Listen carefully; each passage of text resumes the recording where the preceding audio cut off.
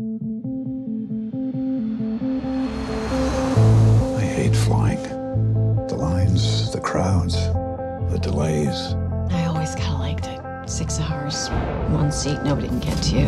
Ladies and gentlemen, welcome aboard our non-stop service from New York to London. You fly much? All the time, actually.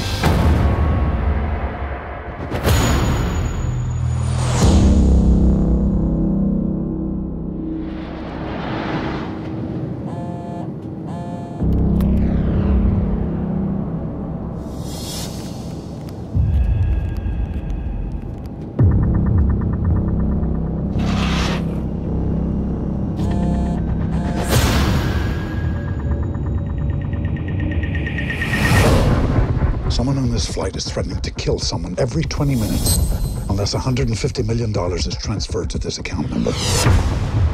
We're midway across the Atlantic. How do you kill someone in a crowded plane and get away with it?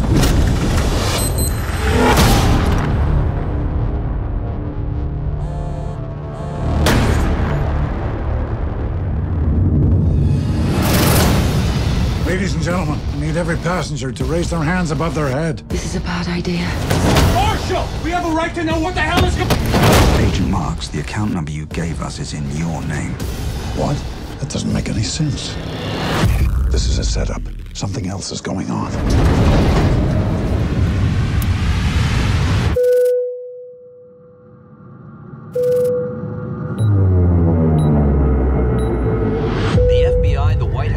Interpol are confirming reports that an international flight has been hijacked by an air marshal.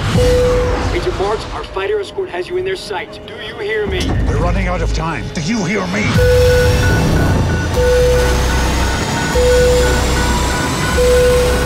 Alliance hijacking this plane. I'm trying to save it.